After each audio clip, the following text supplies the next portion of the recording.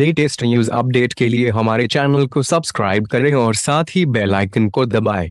पत्नी अच्छा बताओ, मैं तुम्हें कितनी अच्छी लगती हूँ? पति बहुत ज़्यादा। पत्नी फिर भी, बताओ कितनी? पति इतनी की मन करता है तुम्हारे जैसी एक और ले आऊँ। पत्नी अगर मैं मर गई तो तुम क्या करोगे? पति शायद मैं भी मर जाऊँ। पत्नी क्यों?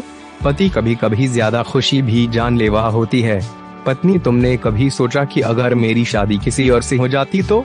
फूलल सतो फूलल सतो फूलल सतो पति नहीं, मैं कभी किसी का बुरा नहीं सोचता।